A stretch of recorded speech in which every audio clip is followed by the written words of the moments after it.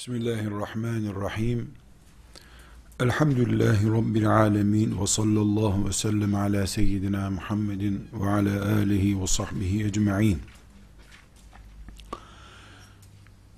Lut aleyhisselamı hepimiz tanıyoruz. Peygamber olarak, ümmetinin akıbeti olarak, çocuklarımızın bile bildiği bir peygamberdir. Onun yaşadığı peygamberlik hayatı dahil, bugün Kur'an'ımızın bize ders olarak anlattığı ibretlerle dolu bir peygamber. Lut aleyhisselam hakkında sadece onlarca bilgiden bir tanesini şu anda hatırlayalım. Lut aleyhisselam insanları Allah'a tebliğ ediyordu. İşte bir peygamber ümmetine ne derse onları diyordu.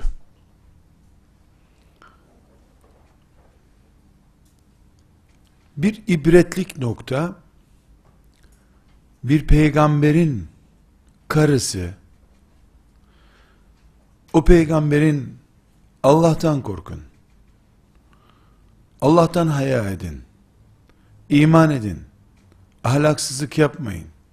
Pisliğe bulaşmayın. Demesinin hemen ardından kime o sözleri söylediyse onların kapısını vuruyor. Bizim adam buraya uğradı mı diyor. He, uğradı diyorlar. Ne dedi size diyor. İşte şöyle şöyle şeyler söyledi. Takmayın onu o herhalde oynattı kafayı diyor bir peygamberin normal insanlar tarafından yalanlanması, meczuplukla, delilikle itham edilmesi, bir anlam taşıyabilir. Eh, hak var, batıl var. Batıl hakka düşmanlık yapacak denir. Ama bir peygamberin hanımının o peygamberin Allah'ı anlattığı bir mecliste söz alıp inanmayın bu adama. Bu adam kafayı oynattı demesinin dünyada anlaşılabilecek hiçbir tarafı yoktur. Ve bu peygamber bu tavrı öğrendikten sonra o kadını boşadım seni, lanet ettim sana deyip evinden de kovmuyor. Bir hafta sonra tekrar peygamber çıkıp insanlara tebliğatını yapıyor. Kadın yine çıkıp inanmayın bu adama. Bu kafayı oynattı. Abuk subuk konuşuyor. Demeye devam ediyor. Bunu bir peygamberin çekeceği eziyetlerin örneklerinden biri olarak da görebiliriz. Ama bir peygamberin mücadelesinde yılmaması gerektiğinin örneklerinden birisi olarak da görebiliriz. Fakat asıl dikkat edeceğimiz ve bugün burada bizim bu yaşadığımız dünyada bizim için ders olması gereken boyut. Demek ki iblis bu ümmetten önceki ümmetlerde kesinlikle farklı farklı taktiklerle hakkı çökertme, batılı güçlendirme uygulamaları yapmış. Lut aleyhisselamı eşiyle çökertmeye çalışmış. İçerden çökertmek istemiş. Belki de Lut aleyhisselamın kavminin göklerden yere atılacak kadar ağır bir ceza ile cezalandırılma nedeni de ola ki bir peygamber karısı olarak karısının içine girdiği bu büyük düşmanlıklar olabilir. Allah bilir. Böyle zannediyoruz. Peygamberin karısının bile bu noktaya geldiği bir ortamda o şehrin kökten helak olmasında bir sakınca kalmamış demektir. Burada Lut aleyhisselam yılmadı. Karısı da gevşemedi hiç. Helak saati geldiğinde helak olacağını anladığı halde inadından vazgeçmedi. Kocası olan peygambere iman ederek teslim olmaya yanaşmadı. Lut aleyhisselamdaki imana sahip çıkmayı da bundan anlayabiliriz. Karısındaki küfür inadını ve sonuna kadar diretmeyi de örnek olarak alabiliriz. Burada kardeşlerim, şu noktaya gelmek istiyorum. Lut aleyhisselam konumuz değil. Ama nübüvvet budur. Böyle bir mücadelenin adıdır. Bir peygambere ümmet olmak da böyle bir savaşın ortasına girmektir. Çocukken imanın şartlarını ezberletip sonra da az büyüyünce Peygamber aleyhisselamın hayatını öğretmek, siretini öğretmekle bitmiyor bu iş.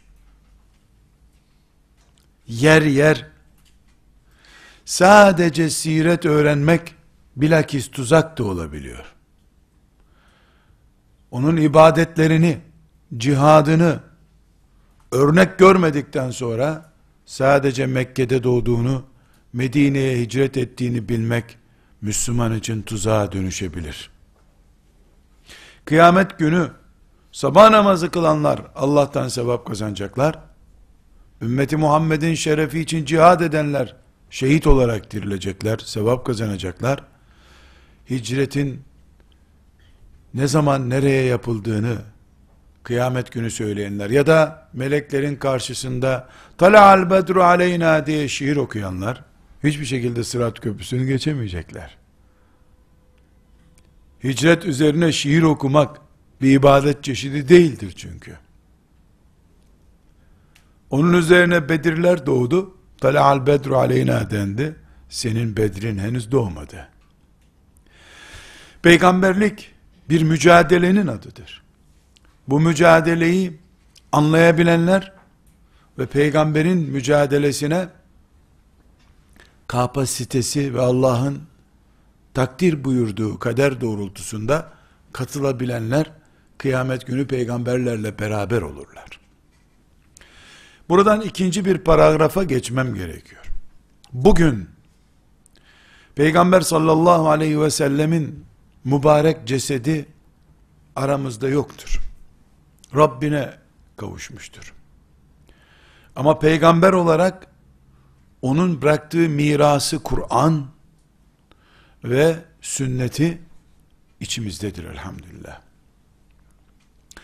O gün Lut aleyhisselama yapıldığı gibi Peygamber sallallahu aleyhi ve sellem de Kabe'nin dibinde namaz kılarken hayvan enkazı üzerine atılarak rahatsız edilmek isteniyordu.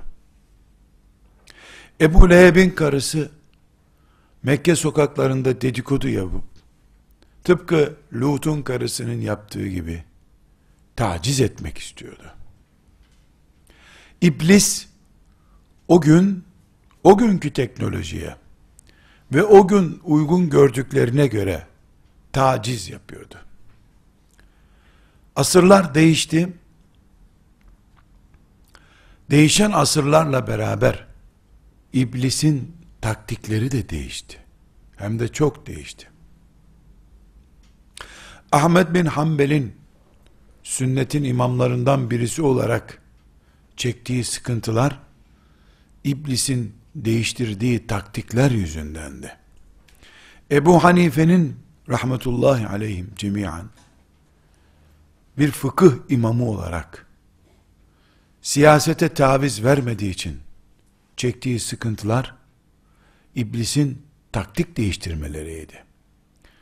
Resulullah sallallahu aleyhi ve sellem Efendimizin torununun hunharca şehit edilmesi, iblisin binlerce sene izi silinmeyecek yara şeklinde ümmetin içine soktuğu bir bela idi ve o gün için onun penceresinden bakıldığında çok başarılı bir operasyondu. Asırlar ilerledikçe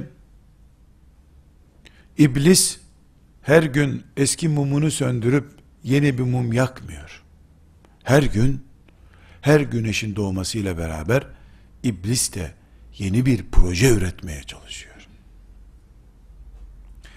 Bugün ürettiği projelerden biri camileri boşaltmak, Kur'an'ı inkar ettirmek şeklinde değildir. Bugün ürettiği proje tartışılabilir bir peygamber üretmektir.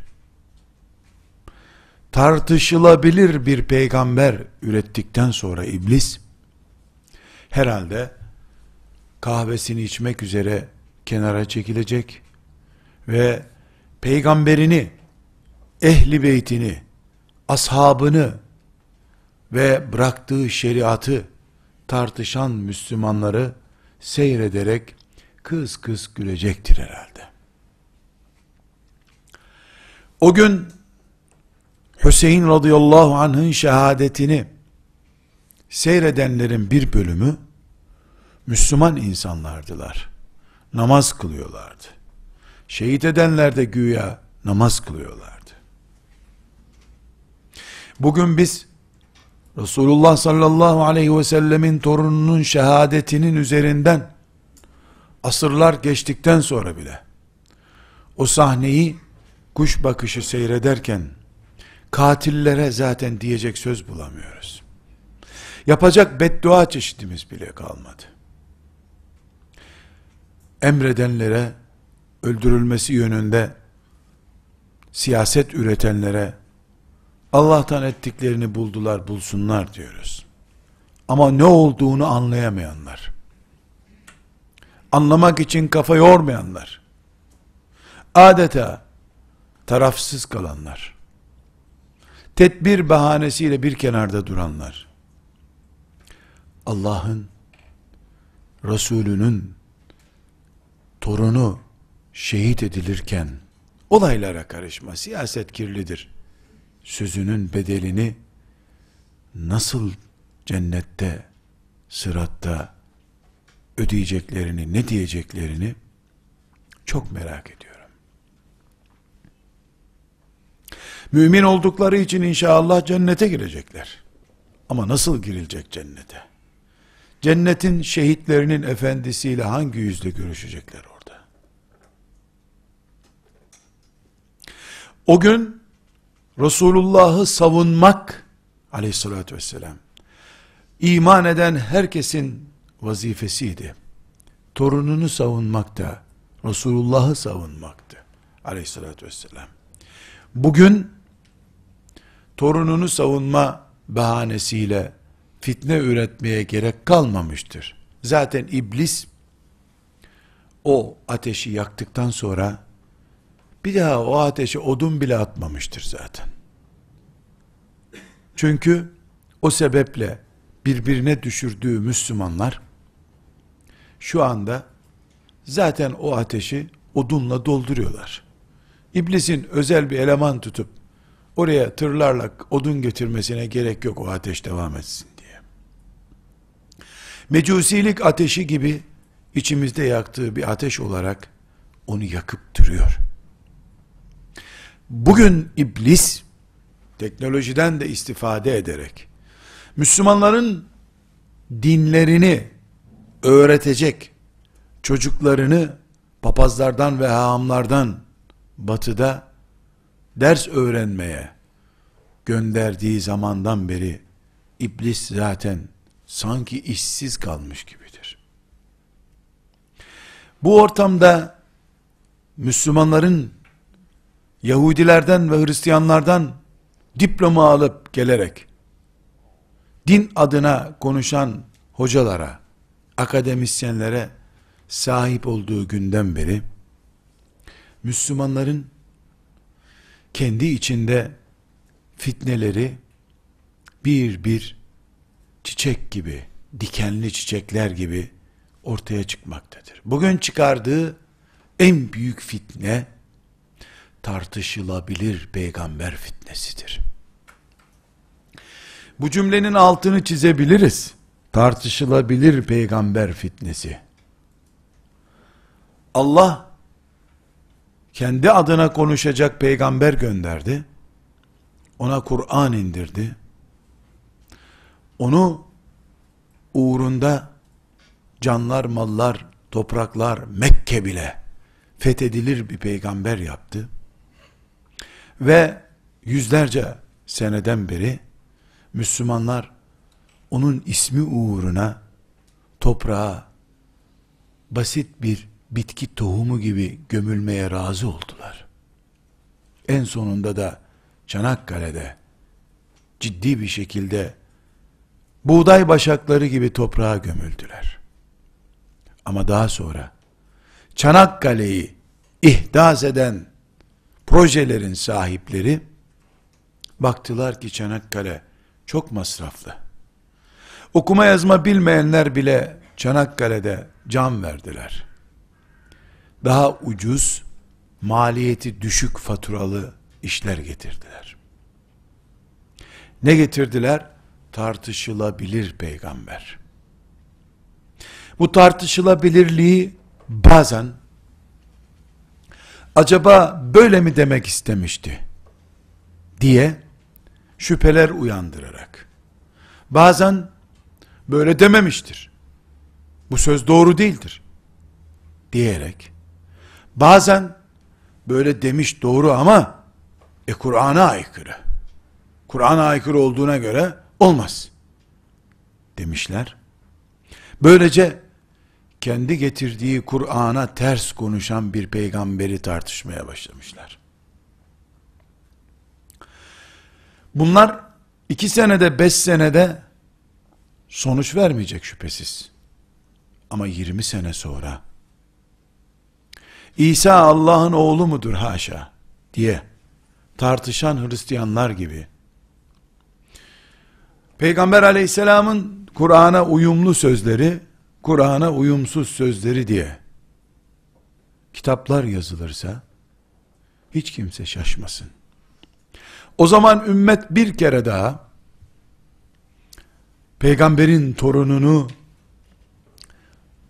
öldürürken katiller bir hikmete binaen sessiz kalmayı yeğleyenler fitneye karışmamak için en büyük fitneye yakıt toplayanlar katiller, sünnet katilleri, Peygamber aleyhisselamın ağırlığını sarsanlar diye gruplara ayrılacak herhalde.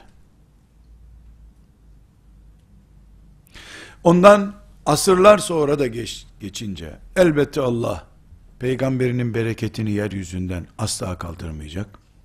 Belki öyle sapık bir taife daha önce batınilik fırkası diye ümmetin topraklarında kasıp kavurduğu gibi bir değişik batıni fırkası da bu şekilde çıkacak. Ama asırlar sonra belki de bir asır sonra bugün benim Peygamber aleyhisselamın torununu öldürenler, planlayanlar, seyredenler diye sadece ağlamayı yeterli görenler diye listeleme yaptığım gibi o günde müminlerin salihleri oturacaklar. Resulullah sallallahu aleyhi ve sellemi tartışılabilir bir peygamber.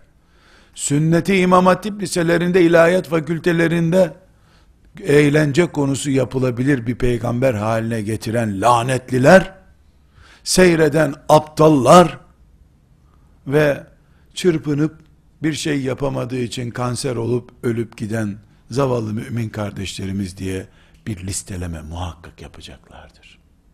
Muhakkak. Çünkü din sönmeyecek. Resulullah sallallahu aleyhi ve sellemin heybeti, azameti asla kaybolmayacak. Kaybedenler olacak ama o kaybetmeyecek. Kaybeden Resulullah olmayacak. Sallallahu aleyhi ve sellem. Bugün biz inşallah seyredenler arasında olmayacağız. Kuru matem tutanlar arasında da olamayız. En azından bulunduğumuz yerde bin kere her gün tesbih çeker gibi sen haklısın ya Resulallah. Ne dediysen doğrudur. Sen Kur'an'a aykırı bir şey söylemezsin. Ebu Hureyren yalancı değil. Enes'in uydurmadı.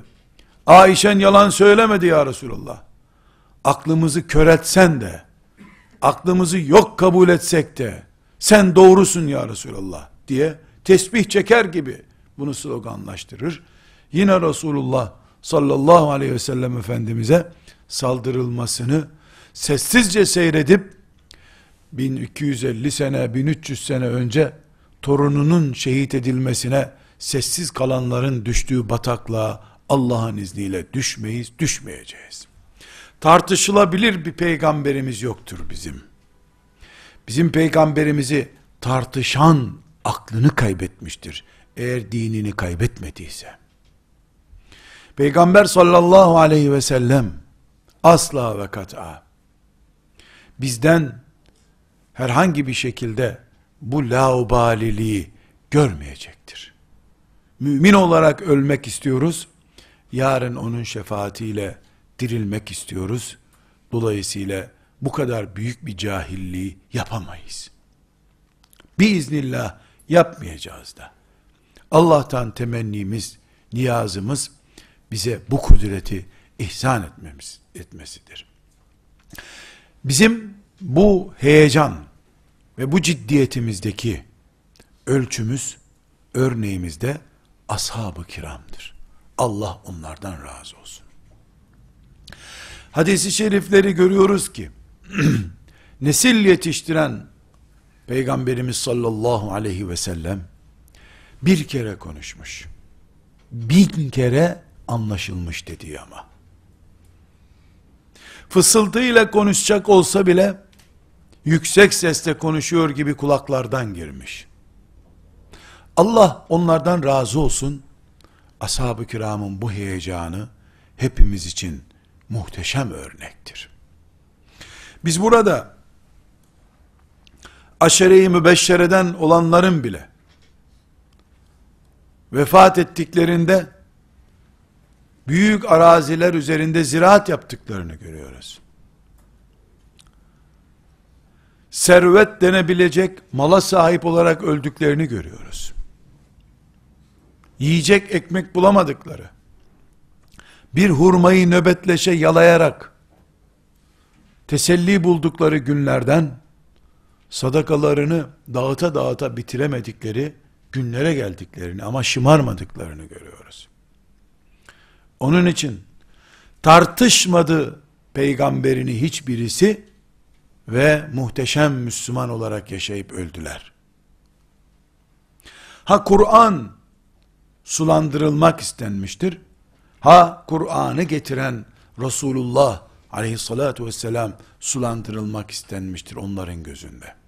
Bugün biz aynı ciddiyetle ve aynı heyecanla Resulullah sallallahu aleyhi ve selleme ve Kur'an'ına sarıldığımız zaman biiznillah bir gün binlerce dönümlük çiftliklerimiz olsa, servetimiz romörklerle para olarak taşınacak kadar çok bile olsa, helalinden çalışan 5-10 bankamız bile olsa, en muttaki mümin olarak, cennete bir iznillah arşın gölgesinden girecek insanlar olarak yaşayabiliriz.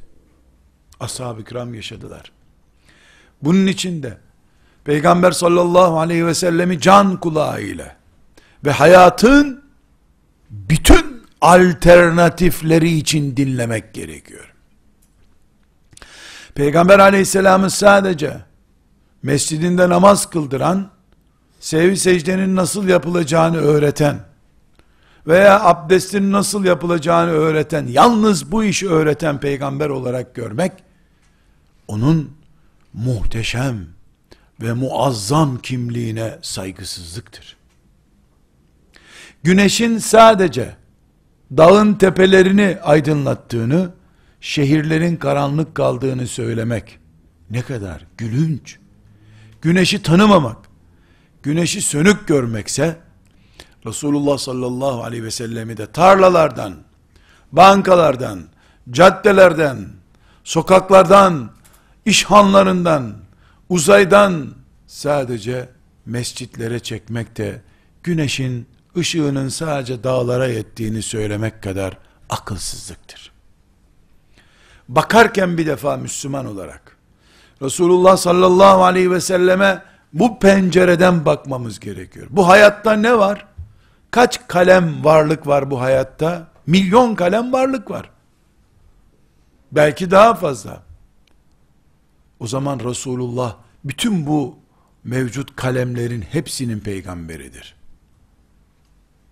Yemek pişirmekten, bulaşık yıkamaya, gömlek giymekten çorap giymeye, konuşmaktan susmaya, hastalanmaktan tedavi olmaya, namaz kılmaktan hacca gitmeye varıncaya kadar. Biz hayatın içinde gözümüzü açtığımızda ne görüyorsak Resulullah sallallahu aleyhi ve sellem odur, onun eğitimini vermiş bir peygamberdir diye iman ederiz. İnşallah bu imanımızla yaşarız Rabbimizin lütfuyla. Bu imanımızla ölürüz. O zaman hayatın peygamberiyle cennette buluşuruz Allah'ın izniyle. Hayatın peygamberi yerine cami peygamberi arayanlar kıyamet günü onu göremeyeceklerdir. Çünkü cennette hayat var, cami yoktur. Cennetin camisi olmaz. Mescid-i Nebi yok orada. Kabe de yok cennette. Minareli minaresiz cami mescit yok artık. Peygamber aleyhissalatu vesselam'ı cami peygamberi diye daraltanlar, onu kutlu diye bir doğum haftasında doğdurup, hemen camiye götürenler, bankalara, sokaklara, caddelere götüremeyenler, ve bu katliamı, Peygamber sallallahu aleyhi ve sellem'i camilere hapis etme, gözetim altında tutma, caminin dışına çıkarmama katliamını, onun hayata yön veren sünnetini, hadisi şeriflerini, onun temsilcisi Ebu Hureyre'yi, Enes İbni Malik'i, Aişe'sini radıyallahu anhum ve onların talebesinin talebeleri olan Buharileri, Ahmet bin Hanbelleri ezerek, sulandırarak, müminlerin nazarında kıymeti az hale getirerek, bu rezil kampanyaya destek verenler, kıyamet günü buluşacak Resulullah göremeyeceklerdir. Aleyhissalatü vesselam. Çünkü onlar camilerde arayacaklardır. Camide yoktur cennette. Cennette bu hayatın yanında hiç sayılacağı kadar canlı bir hayat vardır. Hurileriyle, ırmaklarıyla, yiyecekleriyle, keyfu sefasıyla, cemalullah ile hayat vardır. Bugün Resulullah sallallahu aleyhi ve sellemin isminin sulandırılması, onun aile konularının irdelenirken, adeta iğrençlik oluşturulmaya çalıştırılması ve neticede tartışılabilir bir peygamber ihdas etmek, Haçlı ordularının İtalya'dan kalkıp İspanya'dan kalkıp ta Mescid-i Aksa'ya kadar Anadolu'yu çiğneyerek gelmelerinden daha küçük bir katliam değildir. Belki daha da büyük bir katliamdır. Çünkü Salahuddin Haçlı ordularını ve İngiliz kralını önünde eğip ayaklarını öptürmesiyle bir kafir Selahaddin'in ayaklarına kapandığı için o süreç bitmişti. Şimdi Müslüman olduğunu söyleyen insanlar Resulullah sallallahu aleyhi ve sellemin ismini ve sünnetini onun biricik talebeleri olan Bukharileri, Tirmizileri müminlerin gözünde sulandırdığında kiminle kim savaşacak? Kim kimin ayağına kapanacak? Bu hata düzelsin, bu haçlı fitnesi sona ersin diye bir kaosun içine girmiş oluyoruz.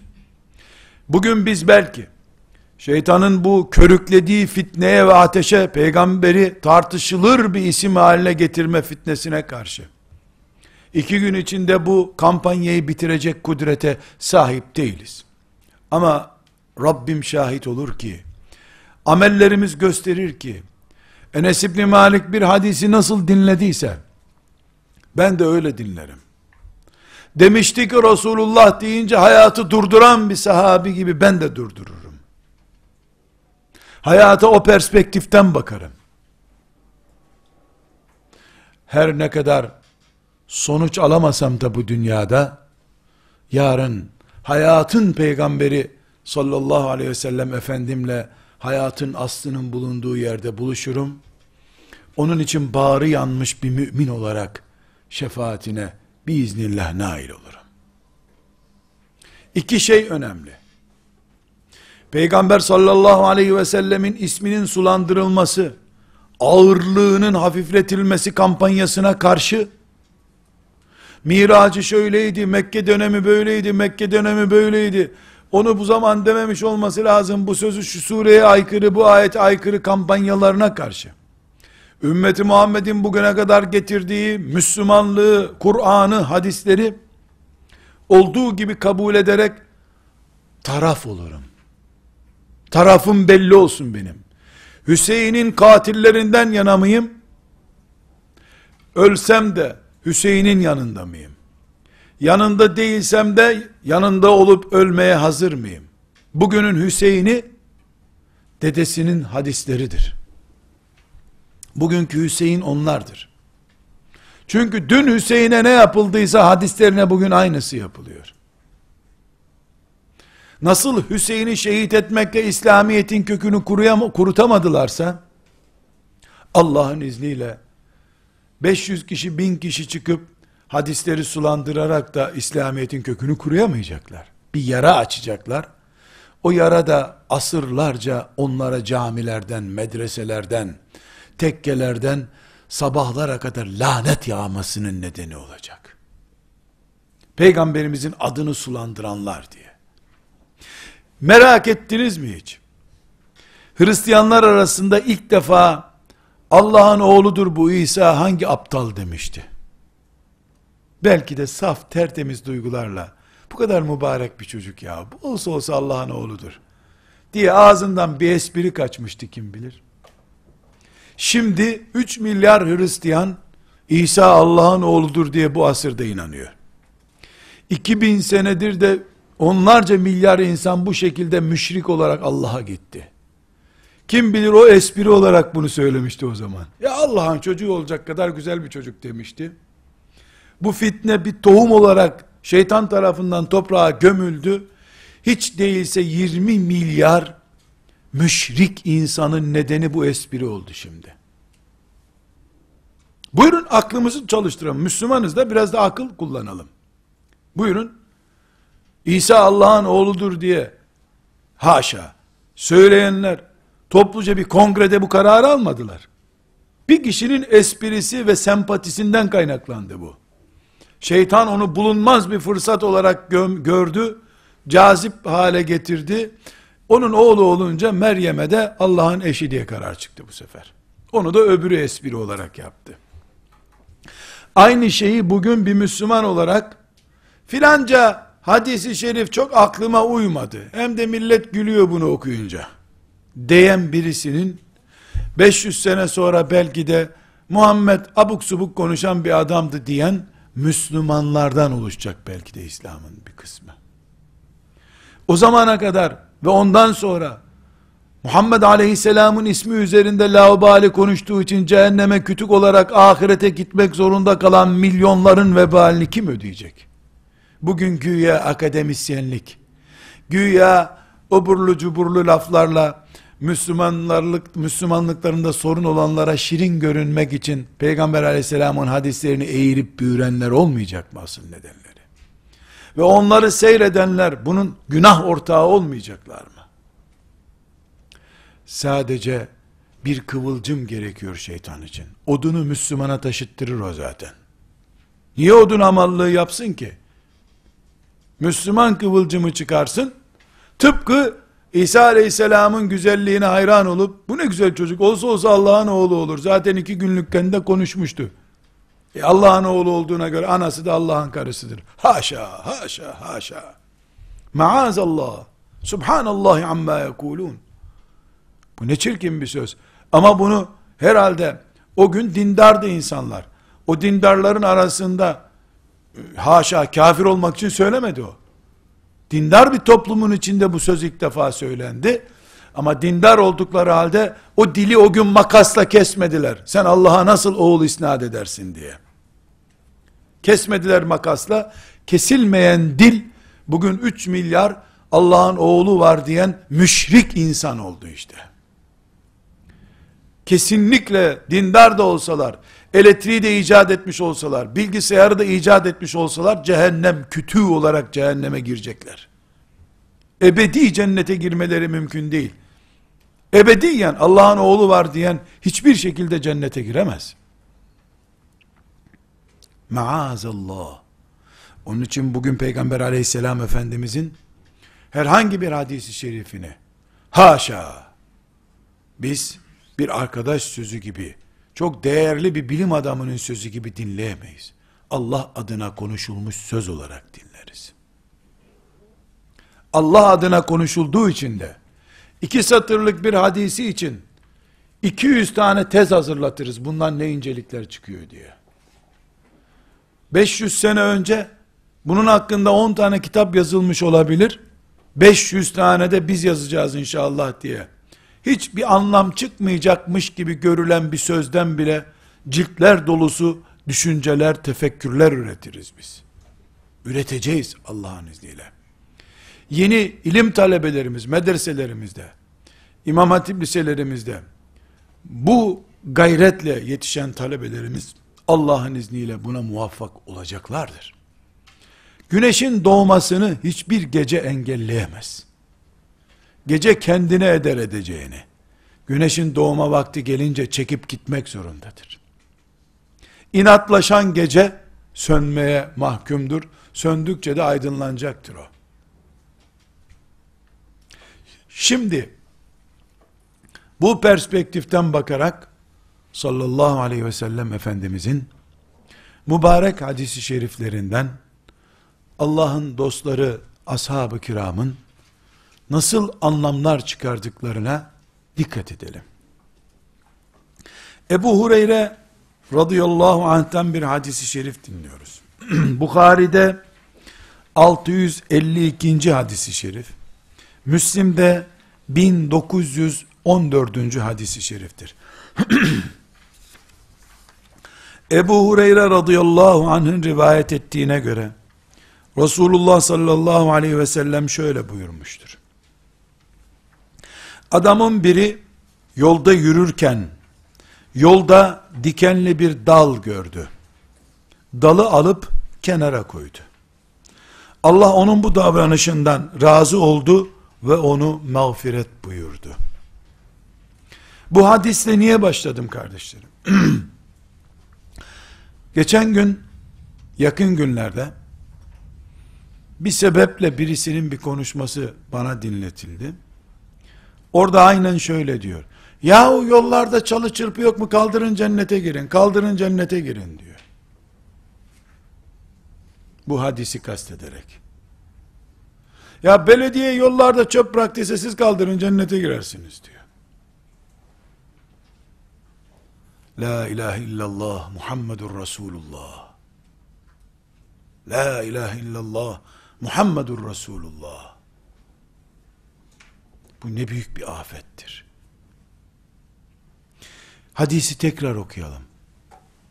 Onun istihza ettiği hadisi Bukhari ve Müslim'in hadisi olarak tekrar okuyalım. Adamın biri yolda yürürken yolda dikenli bir dal gördü.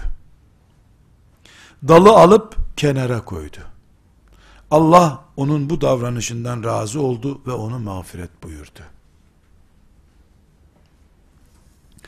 Belki dal nedir bilmeyeceksiniz. Ağacın kırılmış bir parçası. Geçerken bir hayvan buna çarpar diye düşünmüştür o. Biz ise bir arabanın lastiğini patlatır diye düşünürüz. Bir çocuk ayağına takılır diye düşünüyoruz. Bu hadisi ashab-ı kiram Resulullah sallallahu aleyhi ve sellem'den duydular. Bakın neler anlamışlar. Bir, demek ki sadaka para vermekten ibaret değilmiş. İkinci bir insana faydası olan her şey sadakaymış. Bu adam sadaka kapısından girdiği için Allah bunu mağfiret buyurdu.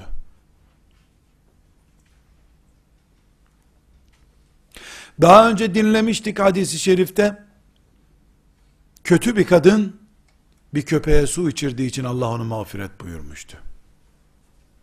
Burada, köpek de yok ortada. Kırılmış, ağaçtan kırılmış bir dal, kuru bir odun parçası. Onu alıp evine götürüp yakabilirdi de. Ama o alıp kenara atıyor. Çocuklara çarpmasın, hayvanlara çarpmasın diye. Bu Allah'ın hoşuna gidiyor. Bundan ne anlamış ashab-ı kiram? Faydalı ol, ne ile olursan ol diye bir siyaset üretmişler. Faydalı ol, ne olursan ol. Yeter ki faydalı ol. Mümin bu insandır. Demek ki Afrika'ya tırlar dolusu sadaka gönderemeyenler de cennet ihtimalinden uzak değiller. Afrika'ya tırlar dolusu sadaka gönderemeyenler, gönül dolusu selam gönderebilirler müminlere. Hasta ziyaret edebilirler. Mümin, Allah'tan her türlü iyiliği talep eden insandır. Bu iyiliği kimisi büyük sadakalar vererek, camiler, medreseler yaptırarak, kimisi de başka bir şeye gücü yetmediği için ağaç dalını yoldan kaldırarak yakalayabilir. Anlamış ashab-ı kiram. İkinci, bundan anlamışlar ki, Allah, küçük büyük bakmıyor. Mümince iş yapmaya bakıyor. Büyüklüğe küçüklüğe bakmıyor. Çünkü hiçbir toplumda dünyanın hiçbir yerinde bir ağaç dalını alıp bir kenara koymak ödül verilecek bir iş değildir. Basit bir iş çünkü bu. Belki de o adam ayağıyla tekme vurarak bu ağacı atmıştır oradan. Eliyle bile kaldırıp almamıştır. Tekme vurup öteye atmıştır. Ama bize göre küçük, Allah'a göre mağfiret nedeni. İkinci bunu çıkarmışlar. Üçüncü olarak bundan anlamışlar ki demek ki biz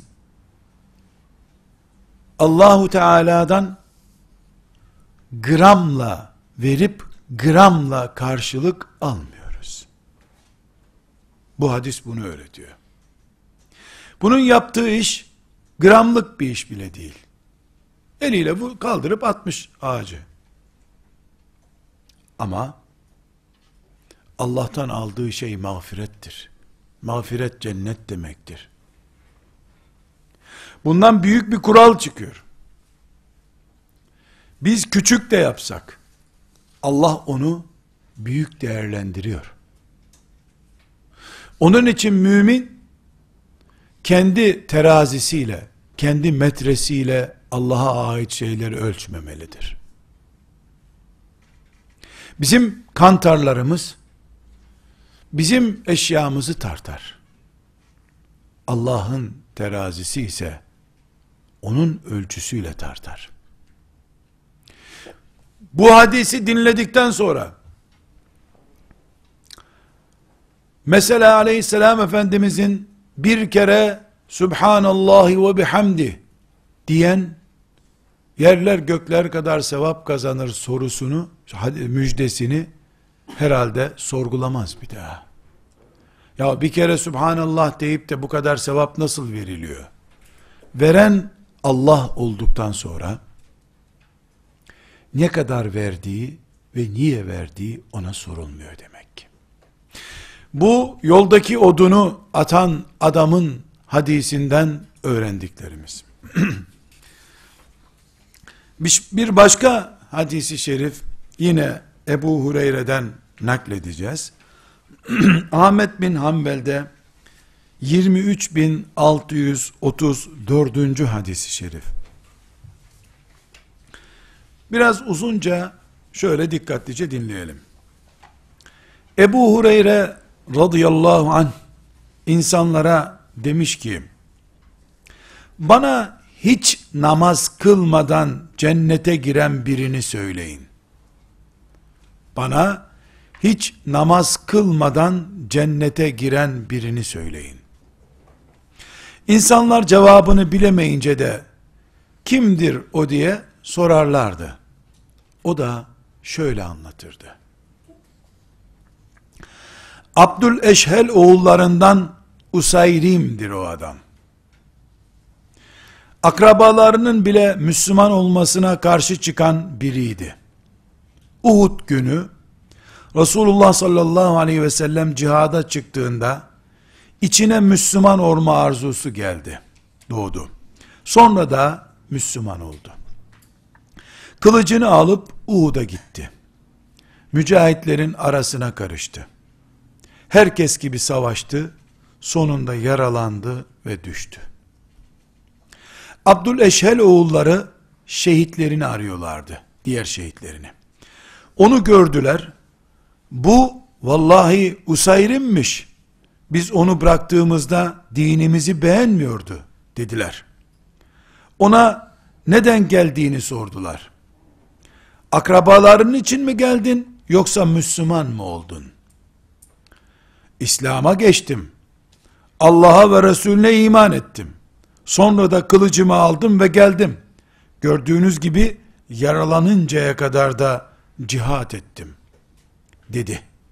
Ardından da onların elinde tuttu. Onların elinden tut ruhunu teslim etti.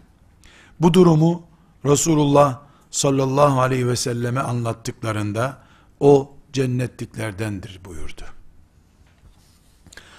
Abdül Eşhel oğulları Ensar'ın kabilelerinden birisi ya da Ensar Medinelilerden birisi.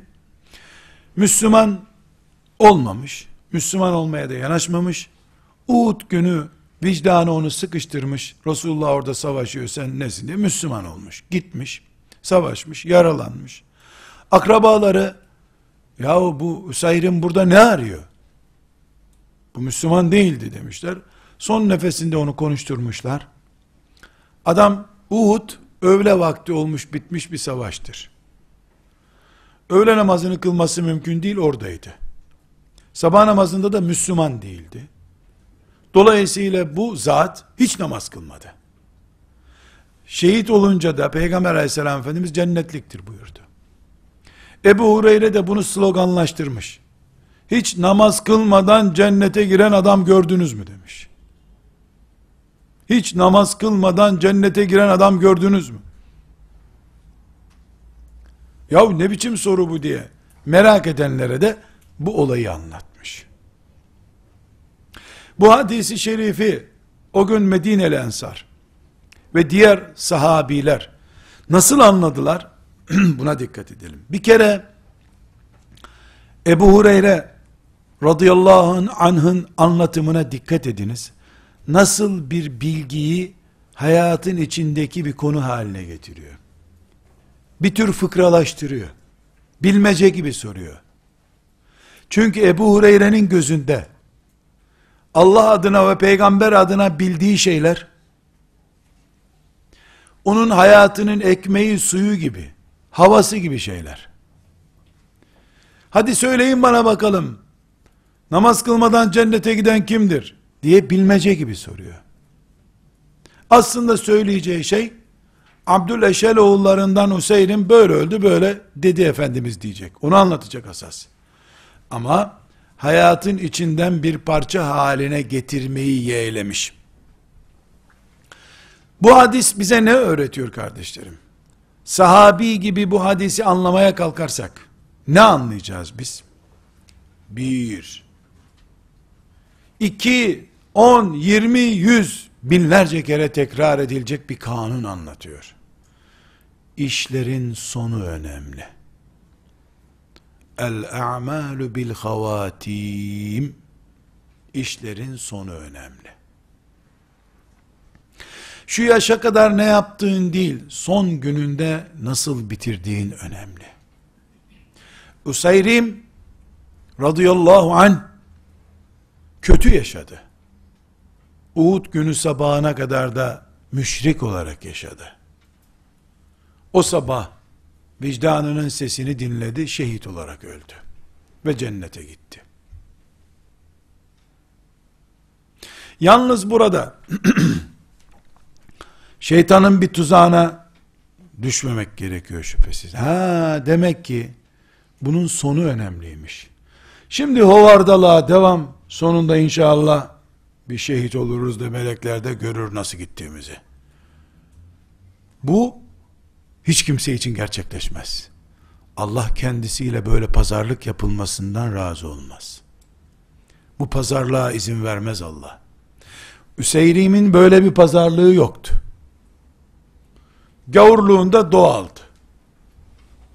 Vicdanı sıkıştırınca doğal bir Müslüman oldu, şehit olarak gitti. Allah da ondan namaz aramadı bir daha.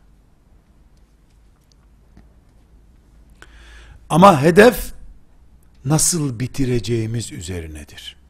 Onun için Kur'an'ımız bize nasıl bir dua öğretiyor? Rabbena la tuzigh kulubena ba'de iz hedeytena ve heb lena min ledunke rahme. Bu hidayetten sonra ayağımızı kaydırma ya Rabbi. Demek ki ayak kayması diye bir tehlike var. Bu tehlikeyi anlamayan imanını koruyamaz olabilir maazallah. Bir başka ne anlaşıldı bundan? Müslüman için namaz ne kadar önemliymiş. Nereden çıkardı bunu? Ebu Hureyre'den çıkardık. Nasıl? Şimdi Ebu Hureyre bu zatın şehit olup cennete girdiğini biliyor.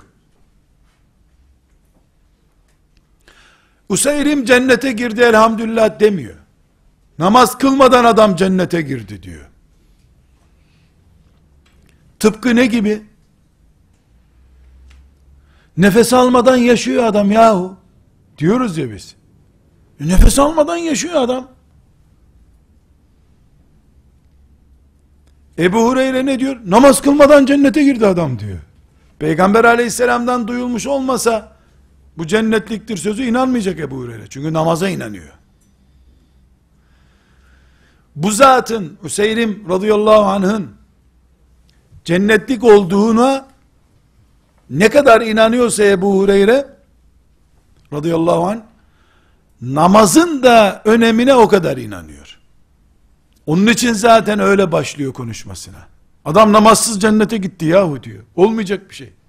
İki senedir nefes almıyor gene de yaşıyor. Der gibi diyor bunu. Bu hadisi şerif bu Useyrim hadisi. Radıyallahu anh. Ebu Hureyre'nin gözünde onun cennetlik olmasından daha önemli neredeyse namaz arada nasıl kaynadı buna şaşırıyor. Bunu anlayamıyor. Bu namaz nasıl kaynadı diyor. Şehitliği neredeyse görmeyecek orada. Bu namaz o kadar gözüne batmış onun. Ama Resulullah da söz verdiği için aleyhissalatü vesselam tamam bitti diyor. Hani olmazdı ama neyse peygamber dedi bir defa diyor. Kendisi orada yoktu Ebu Hureyre'nin. Radıyallahu anh. Hem o zaman çok gençti hem daha Müslüman olmamıştı. Bunu büyük ihtimal Abdüleşer oğullarından birinden dinlemiştir. Başka bir sahabeden dinlemiştir. Allah hepsinden razı olsun. Ama bakın, bu hadisi biz bir Ramazan günü veya Kutlu Doğum Haftası konferanslarından birinde dinlesek, Abdüleşer oğullarının bedava cennete giren adam olarak anlarız.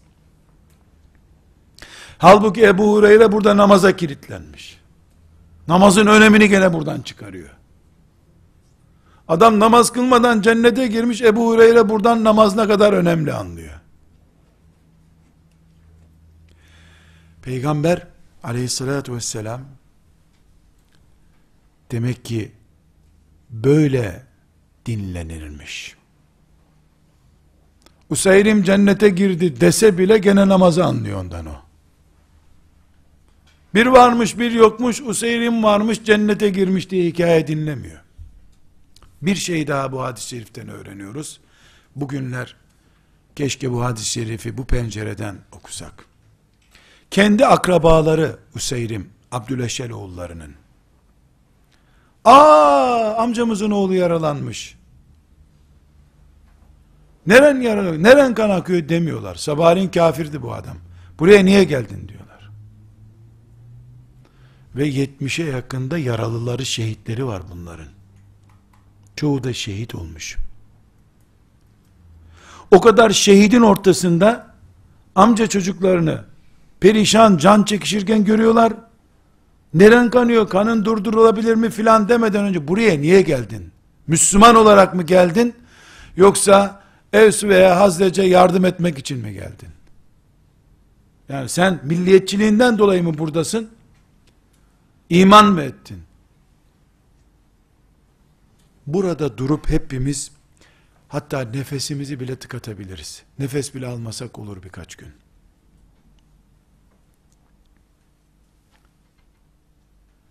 Sahneyi tekrar düşünelim. Uhud'dayız. 70'e yakın şehit var. Bunların çoğu bu Abdüleşer oğullarından. Ensardan şehit fazla yoktu orada. Hamza filan vardı birkaç kişi. Musab, Hamza onlar birkaç şehittiler. O kadar şehidin ortasında işte amca çocukları, dayı çocukları neyse o akrabanın çocuğu onu görüyor. İlk sorusu buraya ne için geldin diyor. E sana ne ne için geldiyse geldi işte bak sizin için vuruştu adam. Hiç önemli değil onun için vuruştu. Niyetin ne sen ne istiyorsun? Allah'ın peygamberine yardım etmeye mi geldin? Yoksa akrabalarına mı yardım etmeye geldin? Yok ben Resulullah'a iman ettim geldim. Yardım, Resulullah'a yardım etmeye geldim. Bağırlarına basıyorlar. Bu, bugün ve kıyamete kadar bütün Müslümanların tefekkür etmesi gereken ince bir çizgidir kardeşlerim. Çok ince çizgi hem de. Bunu bugün anlayamazsak Müslümanlar olarak biz, şeytan bizi çok daha kolay helak edecek gerekçeler bulabilir. Şimdi bu hadisi şerifleri kısaca taradık. Yoldan geçen bir adam bu odun insanlara çarpar diye, hayvanlara çarpar diye alıp onu atmış. Allah onu mağfiret ediyor. Bu zat son anda iman ediyor. Bir saat sonra şehit düşüyor. Resulullah sallallahu aleyhi ve sellem cennettedir diyor. Eğer biz Allah'ın mağfireti nedir? Ne demek mağfiret? Bunu bilmiyorsak bu hadisi de anlayamayız zaten. Maazallah mağfiret umudu, mağfiret heyecanımız yoksa zaten bu hadisi anlayamayız. Allah'ın bir kulu mağfiret etmesi ne demekse bu ağaç dalı bizim için iyi anlam ifade edecek o demektir demek. Hepimiz Resulullah sallallahu aleyhi ve sellemin sünnetine sarılmaya bütün zamanlardan daha fazla muhtacız. İblis de bütün zamanlardan daha büyük projelerle kökünden bu ağacı kurutmaya çalışıyor. Hayır, Allah galip olacaktır. Allah'tan başka galip yoktur. Allah galiptir. Mümin kullar galip geleceklerdir. Resulullah sallallahu aleyhi ve sellemin sünneti ve ismi yıpratılamayacaktır. Ama bu akılsızlıkla helake doğru sürüklenen pek çok insan olabilir, olacaktır da elbette. Bizim tavrımız ve kimliğimiz bellidir. Belli olmalıdır. O şekilde de öleceğiz. Useyrim gibi her ne kadar onun akıbeti çok muhteşemse de Useyrim gibi son anda katılmayacağız. İlk andan itibaren kimin yanında ne için var olduğumuz biiznillah belli olacak. Ve sallallahu ve sellem ala seyyidina Muhammed ve ala alihi ve sahbihi ecma'in velhamdülillahi rabbil alemin.